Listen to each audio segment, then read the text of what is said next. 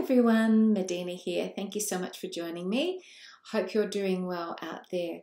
So, today I'd like to cover a really important topic, which is the topic of maintaining a high frequency or vibration. We are all social animals here, and we tend to want to fit in with everyone else. We tend to want to conform and to be able to feel like we are at one with another person when we're interacting with them. So, what we often tend to do when we're interacting with someone else is we will perhaps, for example, we'll be feeling fantastic and then we'll interact with someone who is not feeling so good and we will drop our frequency of vibration in order to be able to communicate with them and to feel like we're, you know, simpatico with that person and that we're in sync and that we can connect. Light workers, healers, empaths, you know, obviously we're very empathic and so we tune into other energies and we try to fit in with them.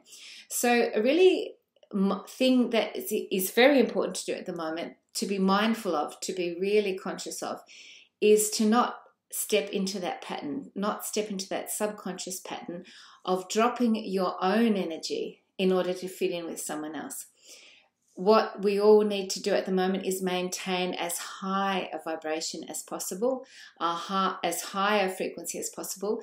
And if people don't like it or they don't align with that, then we have to be in non attachment, not attached to the outcome, but able to maintain and sustain this frequency. The reason we need to have this high frequency at the moment, obviously, is because this planet is going through a huge transition. And the more people that can hold and sustain a high frequency, a high vibration, the more it will help this whole planet, the whole process of transition, the whole planetary ascension as we go up the spiral of evolution the higher frequency we can hold, the more smooth a transition for everyone in that upward spiral. So just be mindful of not dropping your frequency or vibration to match the people that you're interacting with. And it doesn't matter who the people are, whether they're family, friends, whatever, keep sustaining as higher frequency.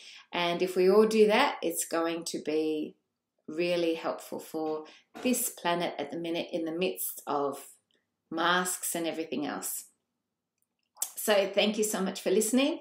And if this has helped you in any way and given you some insights, please like, share, and subscribe to the channel. And I really appreciate you taking the time to listen.